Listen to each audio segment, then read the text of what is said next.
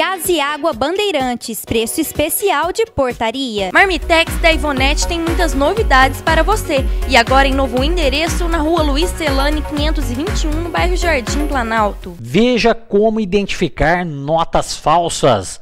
Devido às notas falsas que são passadas constantemente nos comerciantes e empresários da região, a equipe do plantão policial de São Sebastião do Paraíso postou um vídeo onde o gerente de uma agência do Banco do Brasil mostra como identificar uma cédula de real verdadeira ou falsa.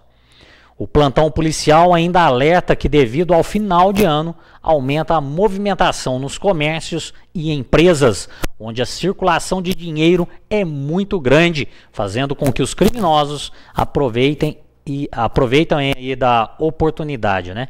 Então, empresários, vocês devem ficar atentos e verificar todas as notas em caso de que a mesma seja falsa, e a polícia também deve ser chamada caso as notas sejam falsas. Vamos ver o vídeo aí. Mostra aí, Gabriel. Põe pra gente o vídeo mostrando as dicas, por favor.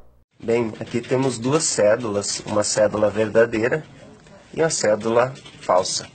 O que mais chama atenção na nota de 100 reais para distinguir? Nós temos aqui a marca holográfica, que a cédula verdadeira aparece no canto superior aqui o número de 100 reais girando ela, ela vai ser, esses 100 reais muda para reais. Então, 100 e reais. A cédula falsa, a maioria delas não tem essa capacidade. Ou é sempre 100 ou é sempre reais escrito aqui.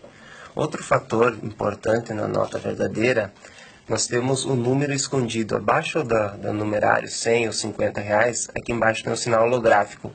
Com luminosidade na posição horizontal, se nós girarmos vai aparecer o número de 100 reais escrito aqui. A cédula falsa, ela não tem essa numeração escondida. Também, outro fator bem importante na cédula original, aqui chamam quebra-cabeça. Se nós olharmos contra a luz esse quebra-cabeça, aqui vai aparecer o número de 100, que é o valor de face da moeda. Uma nota de 50, 50. As cédulas falsas, se tu olhar esse quebra-cabeça contra a luz, não vai aparecer nada. Outro fator importante é o alto relevo. As cédulas originais, elas têm a República Federativa do Brasil em alto relevo. Passar o dedo você vai sentir a palavra escrita. As cédulas falsas, elas são lisas. São fatores determinantes. Também a marca d'água, também, que nós temos aqui, quando olhando contra a luz, nós iremos ver o peixe. Muitas vezes a cédula falsa, ela não tem essa marca d'água ou ela é muito mal feita. Também outra coisa, o fio de segurança. As notas verdadeiras ela tem um fio de segurança que é visto contra a luz e no fio tem a palavra escrita uma nota de 100 reais, 100 reais, nota de 50 reais, 50 reais. As notas falsas elas não têm o fio de segurança e sim uma simples impressão escrita. Esses são fatores, principalmente assim, duas coisas importantes. É o tato, tu sentir o papel, o papel ele é diferente de uma nota verdadeira de uma nota falsa, e a visão. Sempre olhar as notas no ambiente claro com luminosidade. É onde é que nós conseguiríamos distinguir a falsa da verdadeira. E sempre buscar guardar o dinheiro nessa posição. O que acontece? Quando evitar de guardar o dinheiro assim ou assim, sempre buscar colocar ele sempre na posição correta. Assim, quando teremos um padrão, no momento que formos guardar o recurso, tu vai conseguir identificar a diferença da cédula falsa para verdadeira. Mais fácil identificar assim.